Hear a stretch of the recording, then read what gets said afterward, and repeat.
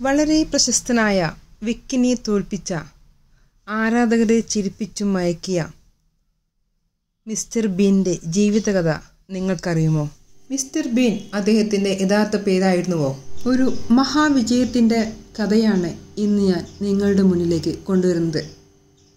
Video ഇഷ്ടപ്പെട്ടാൽ തീർച്ചയായിട്ടും നിങ്ങൾ ലൈക്ക് ചെയ്യുക ഷെയർ ചെയ്യുക. ആദ്യമായിട്ട് കാണുന്നവരാണെങ്കിൽ സബ്സ്ക്രൈബ് ചെയ്തിട്ടില്ലെങ്കിൽ സബ്സ്ക്രൈബ് ചെയ്യുക. റോവാൻ ആറ്റ്കിൻസൺ എന്ന പേര് എല്ലാവർക്കും അത്ര സുപരിചിതം ആകണമെന്നില്ല. എന്നാൽ അദ്ദേഹം അവതരിപ്പിച്ച് അനശ്വരമാക്കിയ മിസ്റ്റർ ബീൻ എന്ന കഥാപാത്രം ലോകമെമ്പാടും ജനങ്ങൾക്ക് വളരെ പരിചിതമാണ്. നിഷ്കളങ്ക മുഖത്തോടെ മിസ്റ്റർ ബീൻ കാട്ടിക്കൂട്ടുന്ന മണ്ടത്തരങ്ങൾ ഒരിക്കലെങ്കിലും കണ്ടവർക്ക് മറക്കാൻ കഴിയില്ല. ഒരക്ഷരം പോലും ഉരിയാടാതെ സ്വന്തം ശരീര ചലനങ്ങൾ മാത്രം ഉപയോഗിച്ച് കഥാപാത്രത്തെ ഉജ്ജ്വലമാക്കിയ റോവാൻ ആറ്റ്കിൻസൺ എക്കാലത്തെ മികച്ച ഹാസ്യ നടന്മാരിൽ ഒരാളാണ്. തന്റെ കഥാപാത്രം മണ്ടത്തരങ്ങൾ മാത്രം കാട്ടിക്കൂട്ടുന്ന ആളാണെങ്കിലും റൊവാൻ ആറ്റ്കിൻസൺ എന്ന വ്യക്തി സ്വകാര്യ ജീവിതത്തിൽ എടുത്ത ബുദ്ധിപരമായ തീരുമാനങ്ങളാണ് അദ്ദേഹത്തെ പ്രശസ്തനാക്കിയത്. തന്റെ പരിമിതിയെ മറികടക്കാൻ അത്യധ്വാനം ചെയ്ത റൊവാൻ തനിക്ക് ഇണങ്ങുന്ന ഒരു കഥാപാത്രത്തെ സൃഷ്ടിക്കുകയായിരുന്നു. ചെറുപ്പം മുതൽ സംസാരത്തിൽ വികലത ഉണ്ടായിരുന്ന അദ്ദേഹം കലാരംഗത്തേക്ക് കടക്കുന്നതിനു മുമ്പ് അതിസമർത്ഥനായ വിദ്യാർത്ഥി കൂടിയായിരുന്നു. ആയിരത്തി തൊള്ളായിരത്തി അൻപത്തഞ്ച് ജനുവരി ആറിന് നാല് സഹോദരങ്ങളിൽ ഇളയവനായി ഇംഗ്ലണ്ടിൽ ജനിച്ച റൊവാന്റെ പിതാവ് എറിക് ആറ്റ്കിൻസൺ ഇടത്തരം കർഷകനായിരുന്നു. സ്വതവേ അന്തർമുഖനായിരുന്ന റൊവാൻ പഠന മികവിലൂടെ ന്യൂ കാസിൽ സർവകലാശാലയിൽ നിന്നും ഇലക്ട്രിക്കൽ എഞ്ചിനീയറിംഗിൽ ബിരുദവും പ്രശസ്തമായ ഓക്സ്ഫോർഡ് സർവകലാശാലയിലെ ക്വീൻസ് കോളേജിൽ നിന്ന് മാസ്റ്റർ ബിരുദവും കരസ്ഥമാക്കിയിട്ടുണ്ട്. ഹോളിവുഡിലെ ഏറ്റവും വിദ്യാസമ്പന്നരായ താരങ്ങളിൽ ഒരാളാണ് റോവാൻ ആറ്റ്കിൻസൺ. ഓക്സ്ഫോർഡിൽ പഠിക്കുമ്പോൾ നാടകങ്ങളിൽ സജീവമായതോടെ കോമഡി കഥാപാത്രങ്ങളാണ് തനിക്ക് അനുയോജ്യമെന്ന് തിരിച്ചറിഞ്ഞു. ശരീരഭാഷ ഉപയോഗിച്ച് അഭിനയിക്കുന്നതിൽ വൈദഗ്ധ്യം നേടി. ആയിരത്തി തൊള്ളായിരത്തി എഴുപത്തൊൻപത് മുതൽ ബി ബി സി ചാനലിൽ അവതരിപ്പിച്ച കോമഡി പരിപാടി north nine o'clock news ജനശ്രദ്ധ ആകർഷിച്ചതോടെ എഞ്ചിനീയറിംഗ് രംഗത്ത് നിന്നും അഭിനയ രംഗത്തേക്ക് ചുവടുമാറ്റി ടെലിവിഷൻ പരിപാടികളിൽ സജീവമായിരിക്കെ ആയിരത്തി തൊള്ളായിരത്തി എൺപത്തി മൂന്നിൽ ജെയിംസ് ബോണ്ട് ചിത്രമായ നെവർ സേ നെവർ എഗെയിനിൽ അഭിനയിച്ചു. ആയിരത്തി തൊള്ളായിരത്തി തൊണ്ണൂറ് മുതൽ അവതരിപ്പിച്ചു തുടങ്ങിയ മിസ്റ്റർ ബീൻ എന്ന കഥാപാത്രം അദ്ദേഹത്തെ ജനമനസ്സുകളിൽ പ്രതിഷ്ഠിച്ചു. മിസ്റ്റർ ബീൻ കേന്ദ്ര കഥാപാത്രമായ സിനിമകളും കാർട്ടൂൺ സീരിയലുകളും ലോകം ആഘോഷിച്ചു. റൊവാൻ ജീവിതത്തിൽ ചെയ്ത ഒരു അതിസാഹസികതയും ശ്രദ്ധ നേടി. രണ്ടായിരത്തി ഒന്നിൽ ഒരു സ്വകാര്യ വിമാനത്തിൽ കെനിയയിലേക്കുള്ള അവധിക്കാല യാത്രക്കിടെ വിമാനത്തിന്റെ പൈലറ്റ് ബോധരഹിതനായി. ഒരിക്കൽ പോലും വിമാനം പറത്തിയിട്ടില്ലാത്ത റോവാൻ പൈലറ്റിന് ബോധം തെളിയും വരെ വിമാനത്തിന്റെ നിയന്ത്രണം ഏറ്റെടുത്ത് സുരക്ഷിതമായി നൈറോബി വിൽസൺ എയർപോർട്ടിലിറക്കി.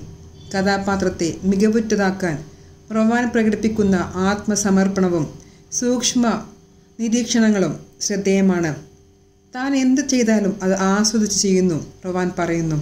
ആഡംബര കാറുകളോടും റേസിങ്ങിനോടും കമ്പമുള്ള അദ്ദേഹം മികച്ച ഒരു ഡ്രൈവർ കൂടിയാണ്. സംസാരിക്കുമ്പോൾ വിക്കുള്ളതും കോമാളിയുടേതുപോലുള്ള മുഖവും അവസരങ്ങൾ ചോദിച്ചെല്ലുന്ന ഷൂട്ടിംഗ് ലൊക്കേഷനുകളിൽ നിന്നെല്ലാം ആ ചെറുപ്പക്കാരനെ പുറത്താക്കാൻ പല കാരണങ്ങൾ.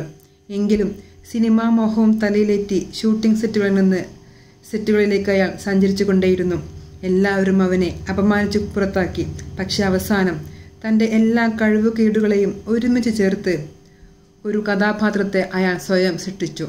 മിസ്റ്റർ ബീൻ കോമാളിയുടെ മുഖമുള്ള സംസാരിക്കാത്ത സൗന്ദര്യമില്ലാത്ത ഒരു കഥാപാത്രം തെരുവുകളിലും വേദികളിലും തന്റെ കഥാപാത്രവുമായി അദ്ദേഹം കയറിയിറങ്ങി.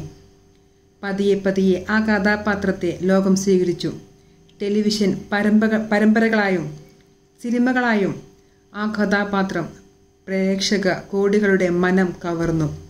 മിസ്റ്റർ ബീൻ എന്ന ആ കഥാപാത്രത്തെ സൃഷ്ടിച്ചതും ജീവൻ നൽകിയതും റൊവാൻ ആറ്റ്കിൻസൺ എന്ന പ്രതിഭയാണ്. മുതിർന്ന മനുഷ്യന്റെ ശരീരമുള്ള കുട്ടിയെന്നാണ് റൊവാൻ തന്റെ കഥാപാത്രത്തെ വിശേഷിപ്പിക്കുന്നത്.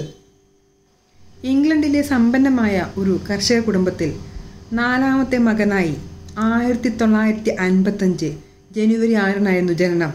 വിഡ്ഢിയെ പോലെയാണ് തന്റെ മുഖമെന്ന അപകർഷതാബോധം കുട്ടിക്കാലം മുതൽ റൊവാനെ വല്ലാതെ അലട്ടിയിരുന്നു. ഇംഗ്ലണ്ടിൽ തന്നെയായിരുന്നു പ്രാഥമിക വിദ്യാഭ്യാസം. അന്തർമുഖനെങ്കിലും പഠനത്തിൽ മിടുക്കനായിരുന്നു.